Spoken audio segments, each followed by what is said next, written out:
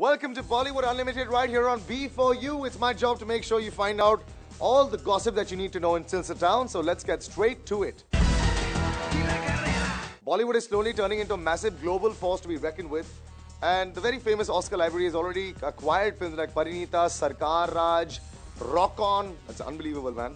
Namaste London. Why is that gone there? And Heroes for its collection. Now they want a bit of De Dhanadhan too.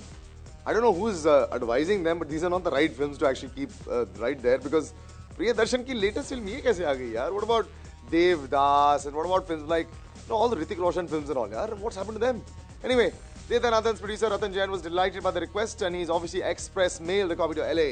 Let's hope it inspires future filmmakers to greatness. Abhay Deol likes to consider himself as a serious actor who goes to any length to prepare for a role. Now the Deol man is preparing, uh, well, pretty much like the Khiladi Kumar. By learning a form of martial art in the hopes of nailing the stunts, his character is supposed to perform in the forthcoming Basra. The art in question is the Israeli technique of Krav Maga, which is a really fantastic art. I've actually done a little bit of it.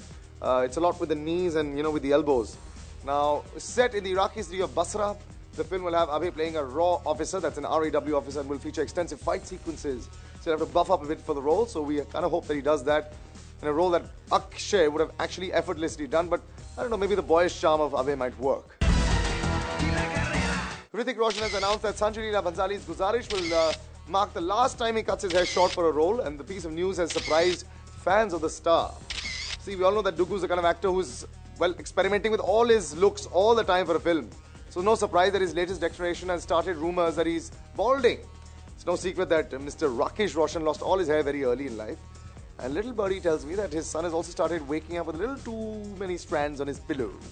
Apparently, Hrithik Roshan's hair is rapidly thinning, which is why it won't be too long before he follows in the likes of Salman, Sunny, and Himesh Reshammiya. Do we see a weaver or do we see a patch? Watch this story for more. That's it for Bollywood Unlimited. Till the next time, salil at bpworld.com.